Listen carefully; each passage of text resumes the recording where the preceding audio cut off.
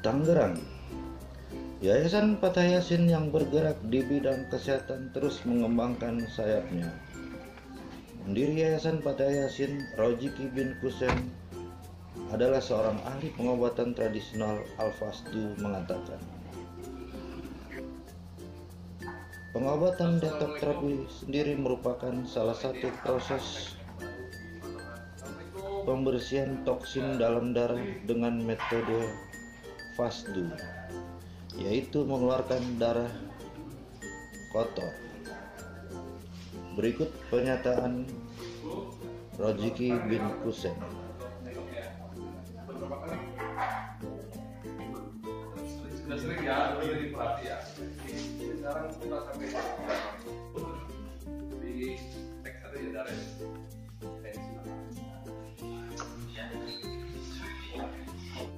Pengobatan ini mengeluarkan toksin-toksin yang ada di dalam tubuh, yang ada di dalam darah.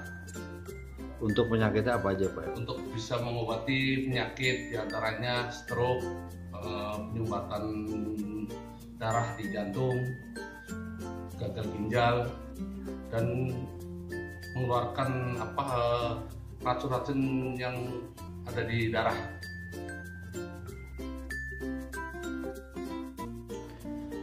Selain ahli pengobatan detok, Rojiki juga bisa mengecilkan amandel, benjolan pada tubuh. Bisa disembuhkan tanpa operasi.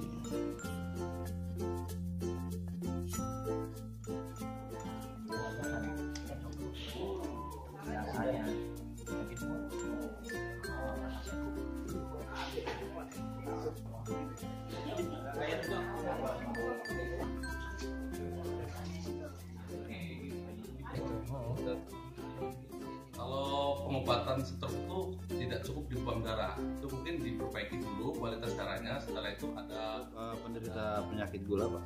eh, kalau gula itu kan itu gangguan pankreas. Ini namanya gula, pengobatan gula.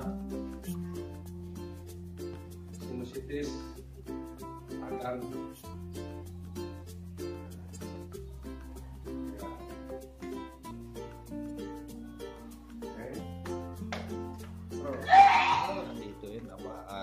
ditarik darahnya.